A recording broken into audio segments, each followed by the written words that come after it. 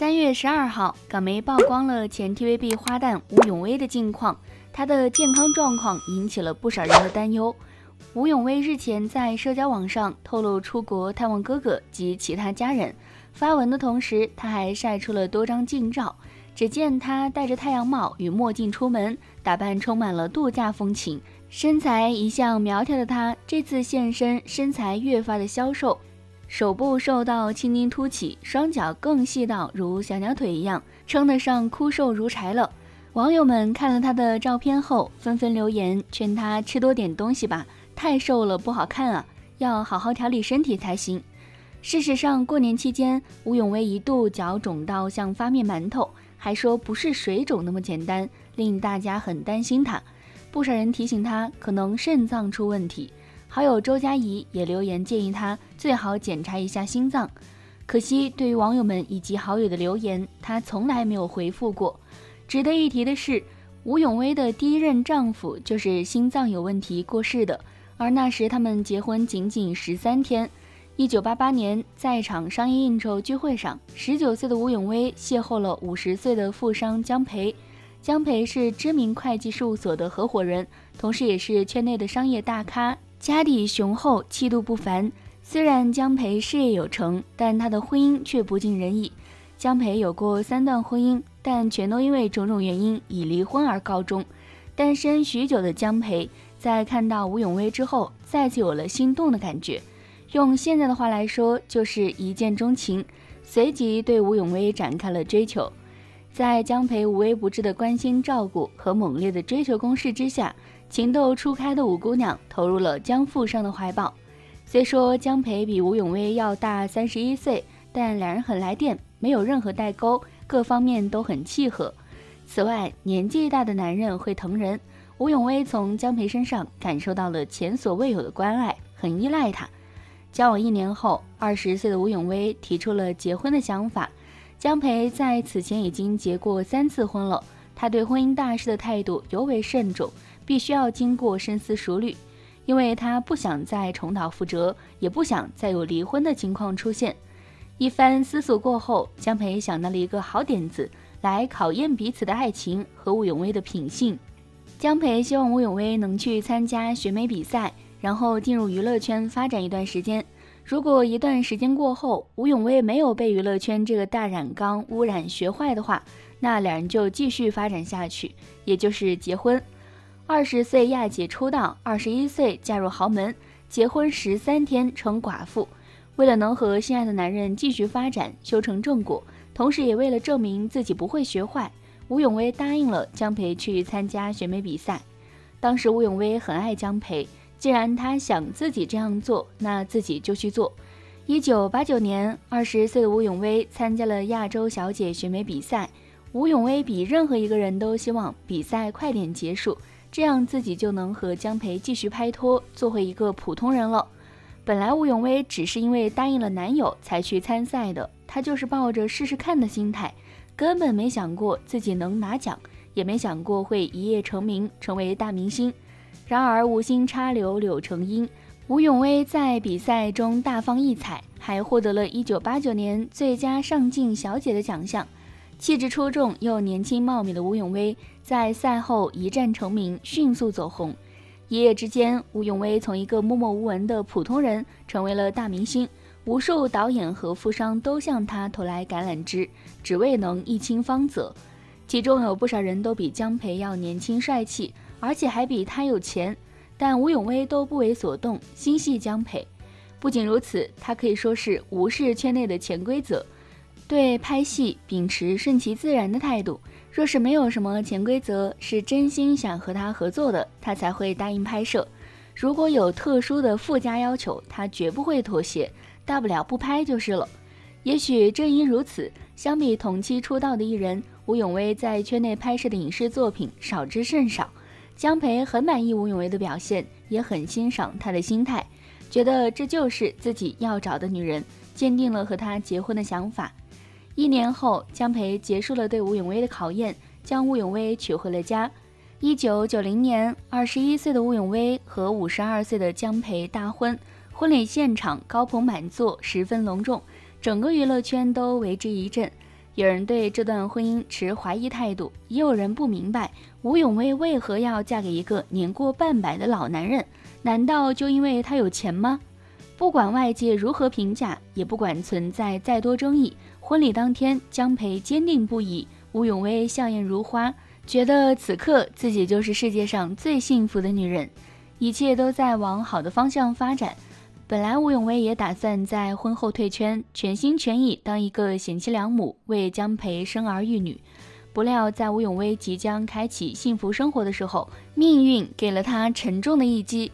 婚后第十三天，吴永威的丈夫翁江培突发疾病，抢救无效离世。二十一岁的她在结婚十三天后变成了寡妇。江家的人都觉得吴永威是丧门星，有克夫命。江培尸骨未寒，江家的人就把吴永威赶出了家里，还用极其难听的话辱骂他。那段时间，吴永威整天把自己关在房间里，不愿意见任何人，沉浸在失去丈夫的痛苦之中。屋漏偏逢连夜雨，香港的大街小巷、茶余饭后，全都是谈论吴永威拜金和克夫的消息。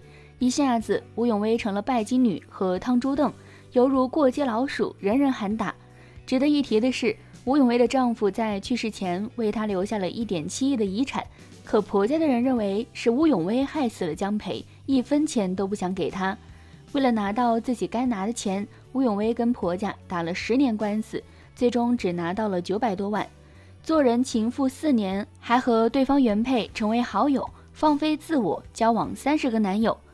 经历了丧夫之痛的吴永威，在后来虽然振作了起来，继续在演艺圈打拼，自力更生，但他逐渐迷失了本心，放飞了自我。一九九三年三月，吴永威参演时装剧《银狐》，凭借在剧中饰演的颜如玉一角，获得更多关注。一位有妇之夫的大富豪通过此剧关注到了吴永威，并向其表达了倾慕之情，希望吴永威能做自己的情人。此时的吴永威和当初的心态已有所不同，他如今已经放飞了自我，尽可能把握住自己能把握的东西，没有过多纠结，他便答应了那位富豪的追求，和他发展成了情人关系。据说吴永威和那名富豪在一起四年，做了他四年的情妇。这件事情在后面被爆出来的时候，吴永威直认不讳。许多人不解吴永威如此爽快的承认，难道就不怕对方原配知道吗？其实对方原配早就知道了。坊间传闻，吴永威为了求男方原配原谅，不惜下跪斟茶向其认错。更狗血的还在后头，男方的原配原谅了吴永威，欣赏他敢做敢当的性格，后来还和他成为了好友。最重要的一点是，吴永威也没想过抢对方老公，就是逢场作戏，各取所需罢了。而且那名富豪只是吴永威生命中的一个过客而已。不为别的，就因为在失去丈夫后的短短数年，吴永威先后交往了三十个男友。那放飞自我的作风，让人觉得既荒唐又疯狂。如此丰富的情史和直言的性格，掀起了不小的风波。不过吴永威倒不以为然，经常在节目中自曝自己的情事，动不动就语出惊人，非常放得开。所以吴永威还收获了“疯婆子”的称号，很多男人都对她避而远之。二十九岁再婚，无视老公偷吃，什么都尝试过了，所以什么都能看得开。